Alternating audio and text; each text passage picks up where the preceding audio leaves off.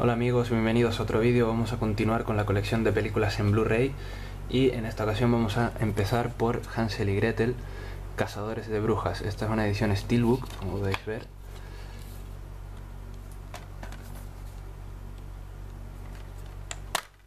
Es un combo DVD y Blu-ray. Y bueno, qué comentar de la película. En esta ocasión nos cuenta la, clásica historia de Hansel y Gretel. Cuando son pequeños van a la casa de chocolate, de golosinas. Y la bruja intenta pues comérselos tras acabar con esa bruja. Esta película digamos que extiende un poquito más su historia inventando una parte de ella. Que sería pues 15 años después ya se han convertido en cazadores de brujas profesionales y van aceptando cargos pues para aniquilar criaturas míticas, por así decirlo. Es una película basada en el cuento que la verdad no tuvo muy buena acogida en la crítica, pero a mí me pareció bastante entretenida y bastante divertida. Y bueno, aquí está. Continuamos con otra película basada en cuentos. En esta ocasión sería Caperucita Roja, ¿A quién tienes miedo? Es una versión que cuenta con un final alternativo. Y bueno, en esta película nos encontramos con una versión alternativa de, la historia de Caperucita Roja que para mi decepción pues está contada con un poco mm, con un ambiente muy juvenil, muy adolescente, ¿no? Es lo que digamos que me decepcionó de la película porque la verdad es que la idea para mí estaba bastante bien, aunque no acabó de convencerme. En ella nos cuenta pues eh, los humanos de un pueblo han hecho un pacto con el hombre lobo para que no ataque a los humanos. Para ello pues realizan un ritual de ofrecer un alimento cada cierto tiempo el lobo eh, rompe el pacto y ataca a los humanos. Y bueno, entre medio de eso, pues vemos a Caperucita, la protagonista, que está comprometida con una de las personas más ricas del pueblo, pero ella en realidad está enamorada de un leñador, el cual pues intentan huir, pero el lobo les eh, interfiere. Y bueno, la verdad es que es una película que no pasa de estar bien, simplemente. Continuando con el tema de los cuentos, está Blancanieves y la leyenda del cazador, en esta ocasión es una versión un poquito más oscura de la, del cuento de Blancanieves. Eh, y bueno, pues digamos que la reina, tras descubrir que no es la más bella del reino, manda un cazador por Blancanieves, pero este cazador, en vez de matarla, acaba salvándole la vida y enseñando a defenderse, digamos, al manejo de las armas y demás.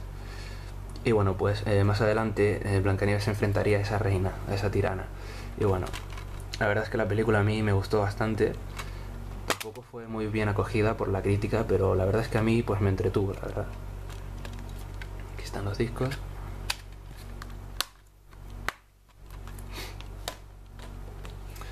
Siguiendo con los cuentos, tenemos Jack el cazagigantes. En esta ocasión es la historia de las alubias mágicas, esas que cuando se plantaban crecían y crecían hasta conectar con una especie de tierra flotante.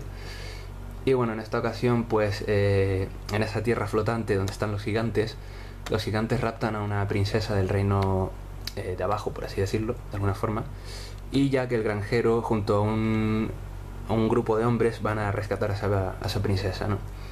Bueno, la verdad es que es una película bastante entretenida y para mí me gustó la adaptación.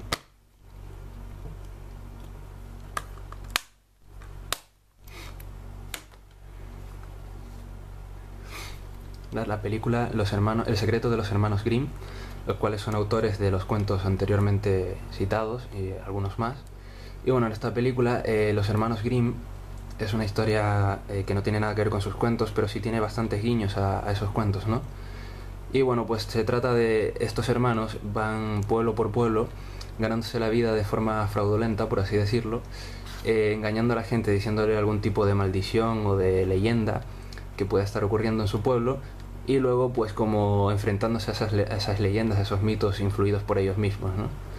Pero llega un momento en el que se encuentran con un pueblo en el que hay una maldición real. Y bueno, ahí lo voy a dejar, para no hacer spoiler.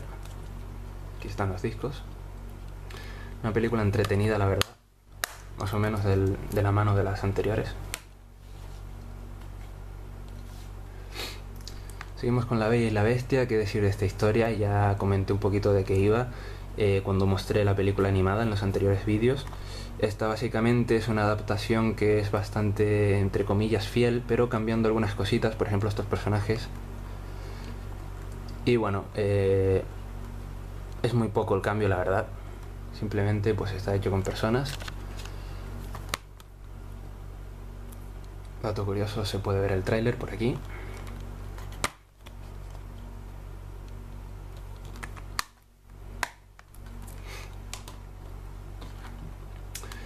Continuamos con Maléfica. En esta ocasión pues se trata de la historia de la Bella Durmiente, pero un poquito eh, dejando a la Bella Durmiente de lado, por así decirlo, y centrándonos en la villana, entre comillas, de esta película, que en esta, en esta versión de Maléfica pues nos cuenta desde su infancia hasta que ya es mayor, pasando por su maldición y demás. La verdad es que la película me sorprendió, me gustó bastante. Una adaptación que, en mi opinión, es bastante bonita, la verdad. Disco bastante simple. Y si no me equivoco, están haciendo lo que sería la adaptación de La Bella Durmiente en sí. Veremos qué tal está. Continuamos con Alicia en el País de las Maravillas, esta versión por Tim Burton. En ella pues nos cuenta la historia de Alicia, que es una chica que a punto de ser prometida, por así decirlo, o de que le pidan compromiso, persigue a un conejo blanco, la cual pues le lleva de una forma u otra al País de las Maravillas, la cual ella no lo recuerda, pero ha estado hace 10 años cuando era más jovencita. Y bueno, ese país está eh, dominado, por decirlo de alguna forma, por la Reina Roja, la cual derrocó a su hermana, la Reina Blanca, que es una especie de tirana, la Reina Roja.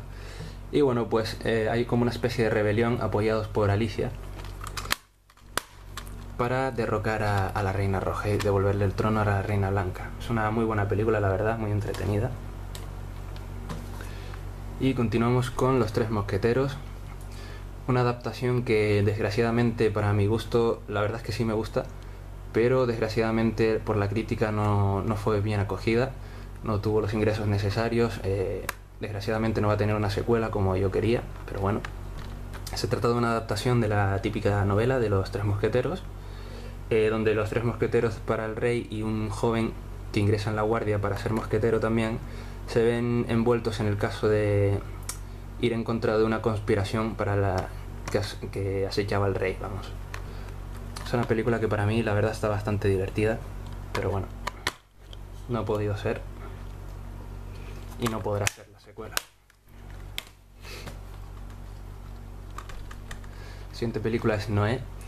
En esta ocasión pues nos narra la historia bíblica de, este personaje, el cual pues eh, se le manda la misión de construir un arca divina para guardar toda, toda vida, toda vida de la creación ante un deluvio universal que va a acabar, pues, digamos, resetear la vida. La verdad es que a mí me gustó la adaptación. Nunca había escuchado, o sea, la historia en sí, ni, ni visto nada, pero tras ver esta película, pues, la verdad es que me llamó la atención y me gustó.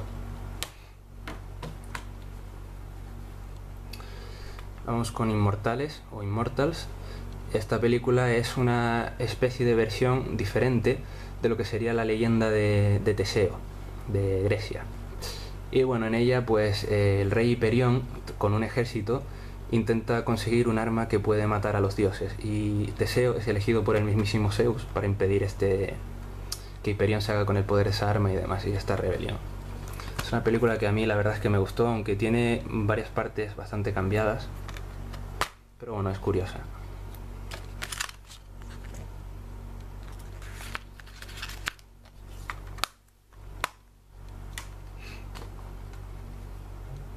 Seguimos con El Príncipe de Persia, una adaptación del videojuego de Prince of Persia.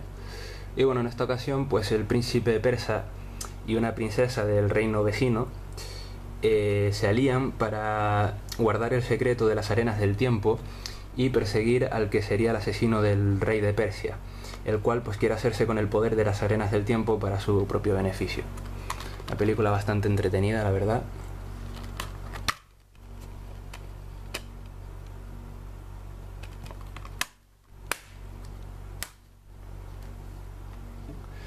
vamos con Cristal Oscuro.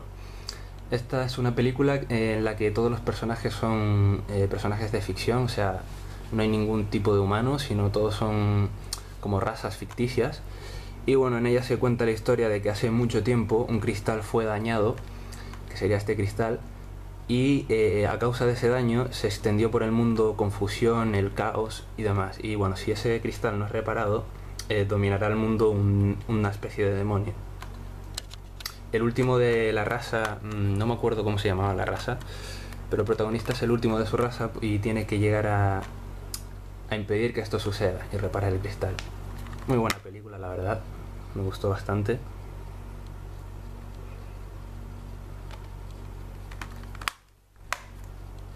Y ya por último, la película Dentro del laberinto. Otra muy buena película clásica. Eh, en esta ocasión, pues, eh, una hermana que está cuidando de su pequeño hermano.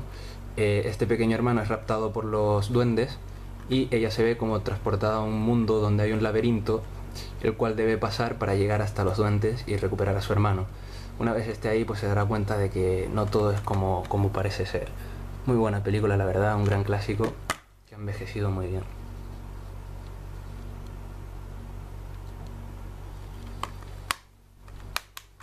Y bueno gente, esto es todo por este vídeo, espero que os haya gustado y también espero tener próximamente la décima parte de mi colección de películas lo antes posible.